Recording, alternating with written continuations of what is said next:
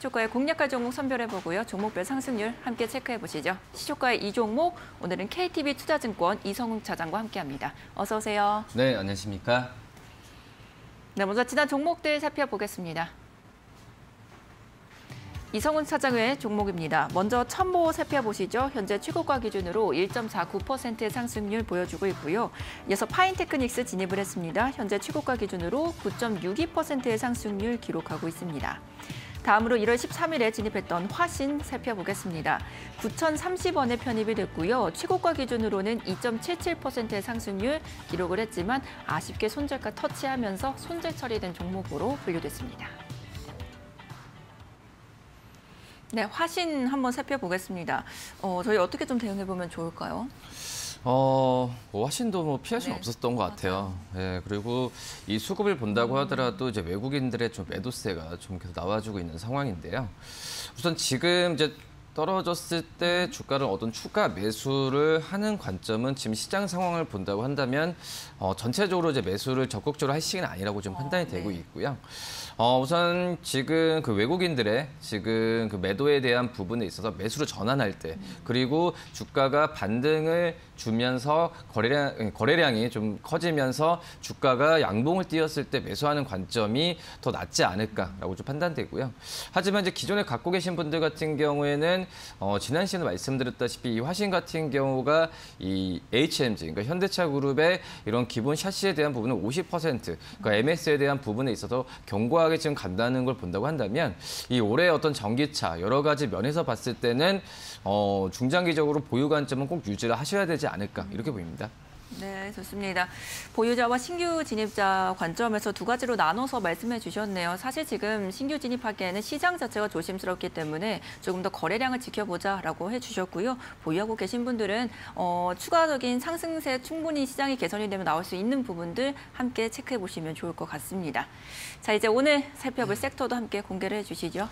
예, 정유화학 업종을 좀 말씀을 드려 할 텐데 어, 우선 뭐 화학 업종도 그렇고 정유화 업종도 그렇고 좀 틀려요 성격이 네. 많이 틀린다고 볼 수 있겠는데 최근에는 이 화학 업종 대비해서 정유 업종의 상승세가 좋죠. 어, 아시겠지만 이제 국제 유가에 대한 부분에 있어서 어, 지금 올해 상반기 때는 이 배럴당 100달러에 대한 부분에 있어서 어, 돌파 가능성이 굉장히 좀 큰 상황이라고 좀 볼 수 있겠고요.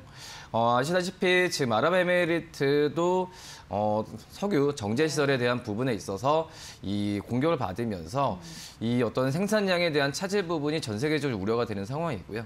좀 러시아 같은 경우도 우크라이나와 이런 지정학적 우려가 있기 때문에 어, 지금 현재 국제 유가 같은 경우는 뭐 어떤 석유 제품에 대한 그 수요가 커, 커진 게 아니라 공급이 확연히 줄어들고 있기 때문에 이런 국제유가가 좀 올라간다라고 볼 수 있겠고요.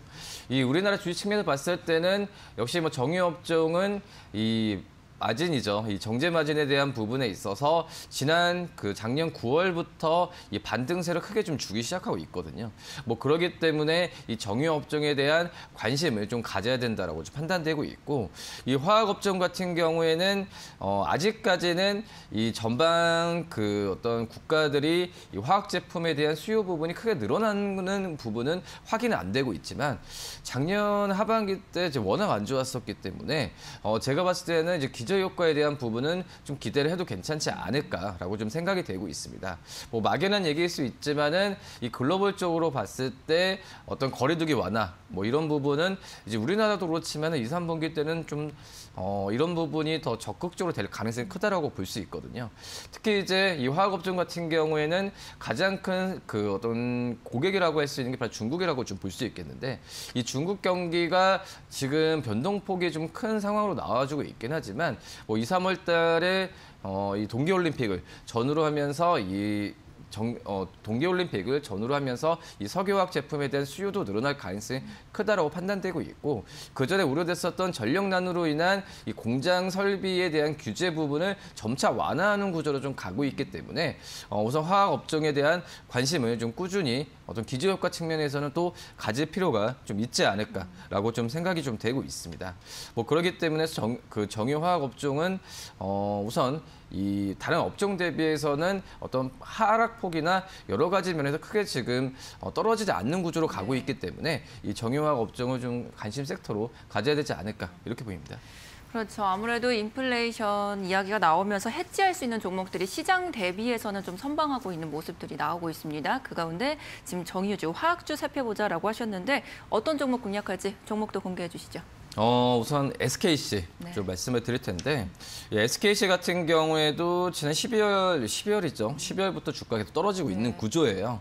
뭐 지금 현재 같은 경우에도 어제도 좀 하락세가 좀 나와 주었는데 뭐 이런 분위기에 어, 저가 매수 관점은 유효한 그런 상황이지 않나라고 판단이 되고 있고요. 어, 우선 SKC 같은 경우가 이 올해 어, 그 작년 어떤 4분기 실적이나 여러 가지 면에서 봤을 때는 재작년 대비해서의 증가폭은 굉장히 좀 늘어나는 구조로 가고 있는데 기존의 어떤 그 화학 제품에 대한 어, 화학 제품에 대한 생산 업체라고 좀 알 수 있겠지만 지금 좀뭐 2차 전지 또 동박이나 어, 그리고 반도체 기판 소재까지도 하는 걸 하는 걸 본다고 한다면 이제 올해 같은 경우는 종합 화학 회사로서 이 탈바꿈에 대한 부분이 어, 크게 좀 일어나지 않을까라고 좀 생각이 되고 있고 요. 지금 현재 그 그 제 6공장에 대한 설립에 대한 부분에 있어서 뭐 시장에서의 여- 시장에서의 어, 작년에 어떤 비용에 대한 우려 부분도 있긴 하지만 오히려 지금 올해는 이 설비에 대한 생산을 어, 본격화되면서 이제 그 비용을 회수하는 구조로 지금 갈지 않을까라고 좀 생각이 되고 있습니다. 뭐 그러기 때문에 이 SKC 뭐 4분기 실적 물론 점- 작년 대비 재작년 대비해서는 올라갈 수도 있겠지만 어, 작년 3분기에 대비해서는 떨어진다라고 우려할 수 있겠지만 이 부분은 저는 어, 충분히 주가 좀 반영이 되지 않았나라고 좀 판단되고 있고요. 그리고 올해 상반기에는 이 전지용 쪽에서의 동, 그 동박에 대한 판매 가격 인상이 확실시 되기 때문에 이 SKC에 대한 관심을 좀 꾸준히 가져야 되는 게 맞지 않을까 좀 이렇게 좀 판단되고 있고 어제 15만 3천 원으로 어, 장을 마감했는데 목표가는 17만 원, 손절가는 14만 원 말씀드립니다. 네, 오늘 시초가에 공략할 종목 SKC 선정을 해주셨습니다. 지금 육공장 증설에 대한 모멘텀들이 최근에 있었는데 그런 부분들이 비용적인 부분들, 우려감들이 이미 반영이 되고 앞으로의 그 긍정적인 부분들을 조금 더 중점적으로 살펴보십니다. 지금 매수가는 시초가에 공략을 하고요. 목표가 17만 원 함께 제시해 드리겠습니다. 지금까지 이성웅 차장과 함께했습니다. 감사합니다. 네, 감사합니다.